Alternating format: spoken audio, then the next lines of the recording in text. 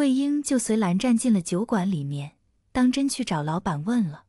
没想到小酒馆的老板居然是个身材娇小的妇人，看着也就比现在的魏婴大四五岁。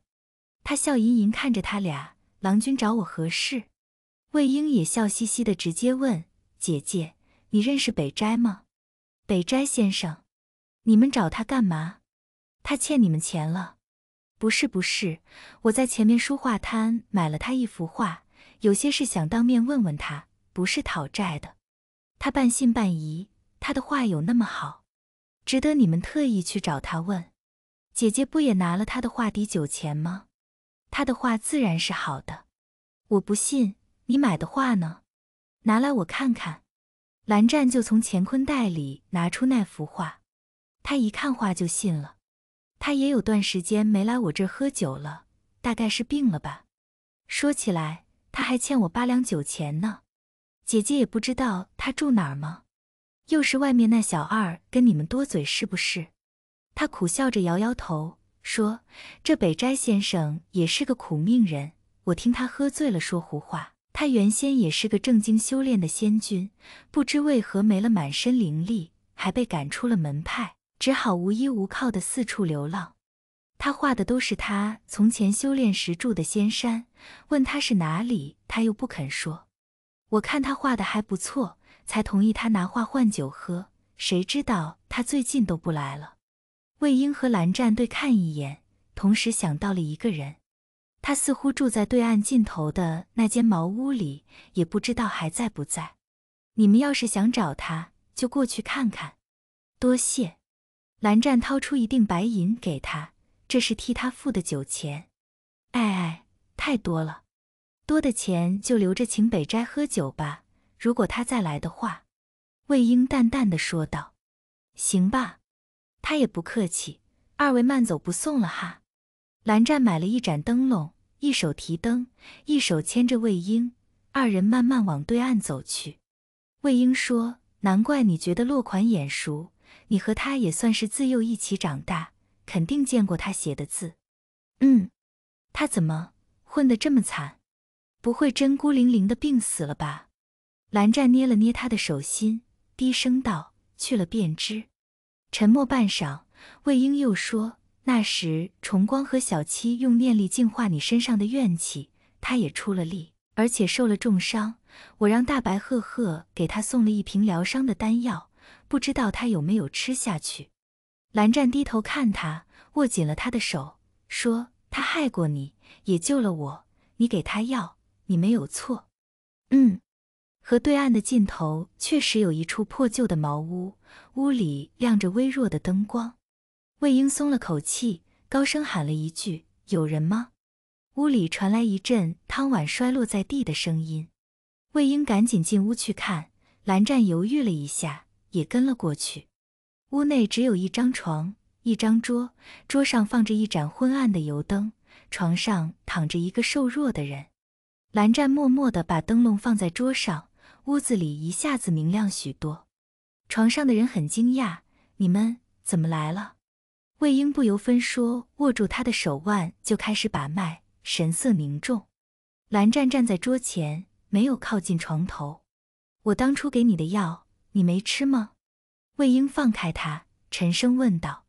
化名北斋的画师，正是当年明明闭关受罚，却私自下山寻找怨气缠身的蓝湛的送客，也是此刻魏婴眼前躺在床上有气无力的病人。他咳了一阵，才回答道。吃了，不然我这满头乌发是怎么变回来的？可你此时体内半分灵力也没有。我记得你那时还留有一成灵力，吃了我的药再好好休养，你损耗的灵力早就应当养回来了。是啊，原本应当如此。宋柯挣扎着坐起来，看了一眼魏婴身后的蓝湛，我没想到还能再见到你们。你的身体很不好，我知道。就当是赎罪吧，赎我那一念之差。魏婴默然，回头看了蓝湛一眼。蓝湛从怀里掏出一个小小的药瓶来，那是下山时绿云君塞给魏婴的丹药，里面只有三颗小小的药丸，紧要关头可以救命。魏婴伸手接过，倒了一颗丹药出来，张嘴。宋柯偏头躲开，不必了。魏婴伸手捏他下巴，把药丸塞进他嘴里，逼着他吞进喉咙。见死不救，不是兰氏所为。你好歹也曾经是我的同门师兄。蓝湛环顾四周，没有发现茶碗或水杯，再看满地狼藉，想来是被宋柯刚才不小心碰倒了。他抬手一挥，清理干净地上的碎碗片，又从乾坤袋里掏出魏婴刚才买的青梅酒来。魏婴接过酒坛，开了坛口，往宋柯嘴里倒了一点酒，将就一下，先把药咽下去吧。反正你也爱喝这家的酒。宋柯不再躲避，乖乖把药和着酒一起咽下去了。魏婴说：“我和蓝湛已经行过道侣大典了，我听说了。”我们这次来这里也是偶然。魏婴想了想，从怀中掏出刚才在街上买的两个烧饼和剩下的青梅酒，一起放在桌上。你这病有点难治，但遇上我们，算你命大。这些都给你，明天我们再来看你。蓝湛说：“听他的，好好休息。”蓝湛把那盏灯笼留在了昏暗的茅屋里。魏婴见了也没说什么，只是先一步走了出去。蓝湛右手一伸，上前牵住魏婴的手，左手从怀里掏出了一张明火符。那是魏婴先前在净室养病时觉得无聊，随手画的，比一般的明火符要华丽一些。光形是一对半米长的比翼鸟。魏婴果然被吸引住了，晃着两人十指紧扣的手，问他：“这个是我闲着没事做来玩的，时效只有一刻，你怎么还随身带出来了？”蓝湛也是第一次见到这样式的明火符，有点惊讶，但他很快回答：“好看，有用。明日你要用些什么药？我和你一起找。”魏婴摸了摸下巴，说：“刚才在屋里当着宋柯的面，我不好直说。他还真是得了肺痨，金丹还在，灵力全无，身体也亏空的厉害。明天我们得找些上好的药才行。难吗？难啊。”但我是谁？好歹也是姑苏名医绿云君的关门弟子，很厉害的。嗯，很厉害。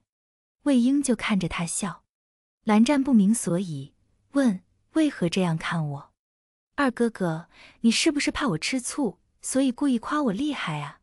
蓝湛摇头，你不会，我真心的。魏婴哈哈大笑，拉着他就跑。我们得走快几步，不然这明火符要失效了。晚风吹过河畔两侧的竹林，响起一阵沙沙声。他俩就这样携手向前跑，一路跑回了先前逛的夜市路口。不行了，不行了，歇会儿。魏婴撑着膝盖，大口喘气。那张比翼鸟明火符果然已经熄灭了。蓝湛气息微乱，依旧站得笔直，双眼一错不错地看着魏婴。歇了一会儿，魏婴这才直起身子，说。果然体力还是比不上你。明天我们去深山野林挖人参，爬不动了你得背我。蓝湛也不问他为什么不吩咐驿站的蓝氏门生去买药，而要跑去深山野林里挖人参，就干脆的应了一声好。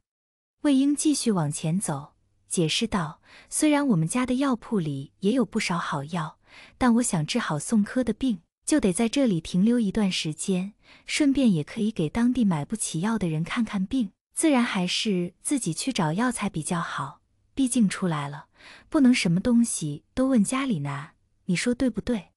蓝湛点头，又想了想，问：需要我知会驿站的门生安排诊所吗？不用，我看宋柯屋门前空地挺大，扩修一下就可以了，也方便我们照看他。好。那明天就麻烦二哥哥叫上门生们帮忙修屋顶、建竹楼了。不麻烦。蓝湛伸手整理他被风吹乱的头发，神色始终温柔。第二日上午，蓝湛果然让门生们找人去宋柯家修建房子了，他自己则和魏婴一起进了山城尽头人迹罕至的森林里找草药。树荫茂密，越往里走，鸟叫声也越发稀疏。魏婴背着一个装草药的背篓，停在一棵大树下，擦了擦脸上的汗，又回头问蓝湛：“累不累？”蓝湛似乎不太怕热，走了半个时辰，脸上一点汗也没有。他拿出水囊递给魏婴：“我不累，你先喝点水。”魏婴咕噜咕噜灌了几大口水，说：“先前我跟师傅出去采过几次药，也没这回这么热。累就休息。”魏婴点头，抬头往树上看，果然看见了一大丛野生的石斛。蓝湛顺着他的目光往上看：“要吗？”“嗯，你摘一半就行，剩下的留着以后还能摘。”“好。”话音刚落，蓝湛飞身上树，不一会儿就摘了一大片石斛下来。魏婴伸手接过，挑拣一番后，丢进了放在地上的背篓里。